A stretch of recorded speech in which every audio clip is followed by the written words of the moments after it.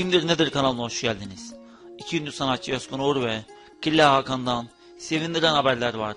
Bir süre önce üçüncü kez kanser tedavisi görmeye başladığını açıklayan Özkan Uğur, tedavi süresince sahnelerde olamayacağını dile getirmişti.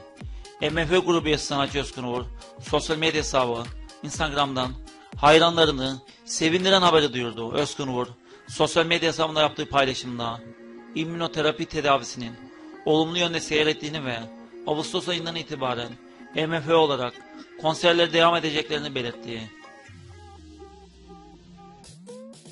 Killa Hakan adıyla tanınan 49 yaşındaki rapçi Hakan Durmuş'un yoğun bakımda olduğu açıklanmıştı.